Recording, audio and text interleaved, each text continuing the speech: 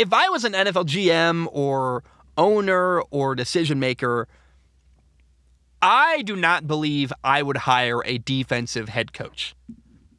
It's not to say that defensive minded head coaches don't win. Bill Belichick won six Super Bowls. Clearly, a defensive coach is not the worst idea. You can win, you can do well. But I will say, I look at Miami with Mike McDaniel and Tua, or I look at Doug Pederson in Jacksonville, Trevor Lawrence, Andy Reid, Patrick Mahomes in Kansas City, Nick Sirianni coaching Jalen Hurts in Philly. It's hard not to believe right now that the two most pos- important positions in football are head coach and quarterback. I want my head coach and my quarterback working together. That really does matter. I don't even think it's a radical thought to say I I would rather have security where I have a coach working with my quarterback who's not at risk of leaving. You know, for example, look at the Jets with Robert Saleh. They've got a defensive minded head coach. He's great, by the way. Like, look at the way Robert Saleh has turned around the Jets defense. It's extraordinary. It's really good. I, I credit Robert Saleh. He's an awesome coach. I root for him. I like him. I also like that when he mismanaged the clock last week, he owned it after the fact. He said, Look, I, I made mistakes. I thought that was pretty cool. That gains respect in the locker room. I really like Robert Saleh. Michael LaFleur, Matt LaFleur, the Packers head coach's brother, Mike, Mike LaFleur is the offensive coordinator and play caller for the New York Jets.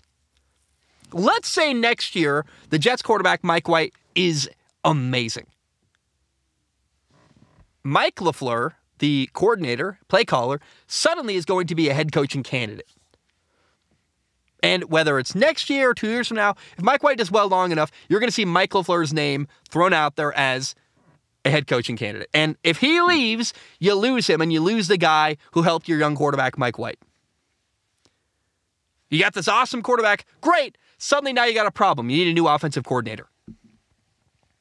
If you hire an offensive minded head coach, you're never at risk of losing the guy who helped your quarterback. That is why I wouldn't hire a defensive coordinator. It's very simple. Defensive head coaches mean that that's the guy with the most job security, the, the head coach. You're at risk of losing your offensive coordinator, and that, that would scare me. Now, I have a perspective that's a bit skewed. I, I played college football. I loved my head coach. I went there for my head coach. He was awesome. Uh, I was in an office. I was in his office like every day. I really had a great relationship with my head coach when I played college football. However, he was the defensive head coach.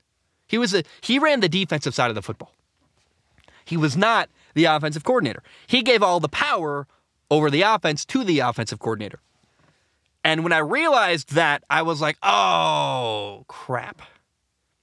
When I was looking at coming here, I was talking to the head coach.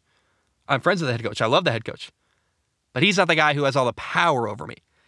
And I, I went to the wrong school. I really regretted it because as I got to know the offensive coordinator, I hated the guy. like I, I tried to hide it, um, but the dude was annoying. I, I had so many disagreements with him. I didn't like his approach. Um, I, I just didn't like him and I didn't trust him. We didn't connect.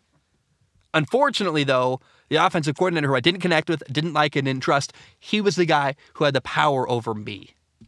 So I, I acknowledge I am skewed when I say, you know, my experience definitely impacts me.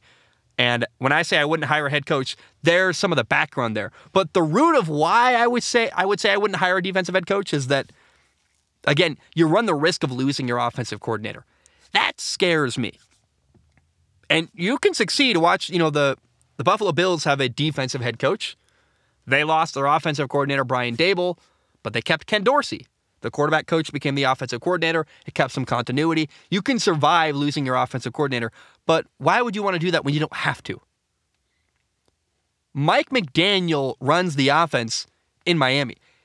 He's not going to leave for a head coaching job because he's already a head coach. He's been promoted as far as he can.